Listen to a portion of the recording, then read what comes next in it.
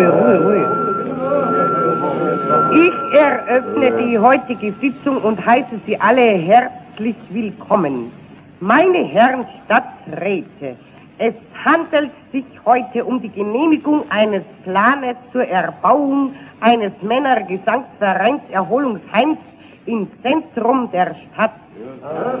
Meine Herren Stadträte, als im Jahre 1935 die Ausfuhr von sterilisierter Baumwolle in der Weihnachtszeit verboten wurde, da war es König Barbarossa, der Bleichsüchtige, welcher damals dem Erfinder der Hosenträger den weißen Entenorden überreichte.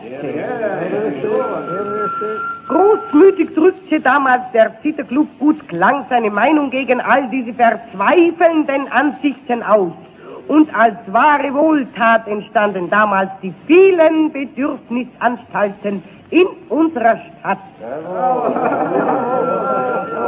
Es sei denn, dass die wirtschaftlichen, ökonomischen Bedingungen das einzige Hindernis in der Hemdknöpfelindustrie den Weg sperren würde, sich dennoch mit vereinten Kräften Mittel und Wege finden, die Überproduktion im Konfettihandel im Keime zu ersticken, um auf dem 23 Quadratmeter großen Grundstück des Realitätenbesitzers Meyer ein Männergesangsvereinserholungsheim erstehen zu lassen. Nach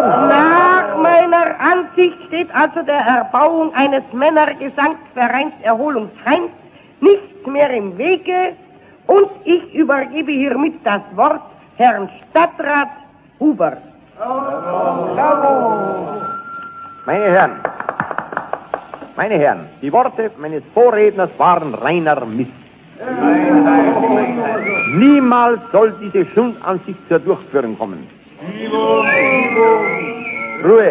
Das Übereinkommen des chinesischen Schaukelbudenbesitzers mit der Nürnberger Honiglettkuchenfabrikationsgesellschaft ist erbärmliche Lüge. Das Blödensee-Geschwader war ja von dem bayerischen Kirchweihfest gar nicht unterrichtet. Das sind, Ruhe, Ruhe, das sind ja elende Lausbubengerüchte. Ja. Wie konnte seine Exzellenz, der Großkaufmann von Venedig, seine Grundbesitzungen reserviert halten? Er musste doch wissen, dass der Grund- und Hausbesitzerverein im Magistrat, Abteilung für Schmetterlingssammlung, noch gar nicht vorstellig war. Ruhe! Ruhe! Ich bitte ums Wort! Ich bitte ums Wort! Ruhe!